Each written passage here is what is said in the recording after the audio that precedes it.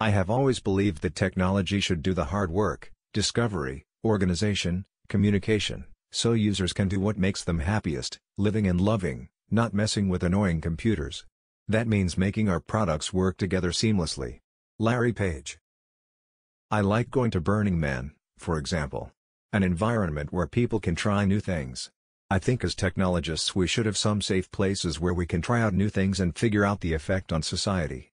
What's the effect on people, without having to deploy it to the whole world? Larry Page I like going to Burning Man, for example. An environment where people can try new things. I think as technologists we should have some safe places where we can try out new things and figure out the effect on society. What's the effect on people, without having to deploy it to the whole world? Larry Page you know what it's like to wake up in the middle of the night with a vivid dream?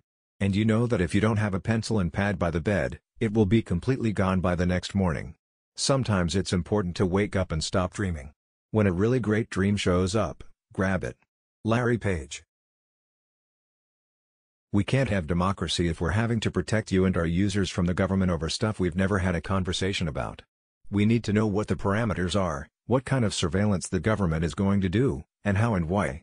Larry Page If you ask an economist what's driven economic growth, it's been major advances in things that mattered, the mechanization of farming, mass manufacturing, things like that.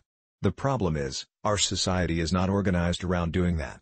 Larry Page If you say you want to automate cars and save people's lives, the skills you need for that aren't taught in any particular discipline. I know, I was interested in working on automating cars when I was a PhD student in 1995. Larry Page It really matters whether people are working on generating clean energy or improving transportation or making the internet work better and all those things. And small groups of people can have a really huge impact. Larry Page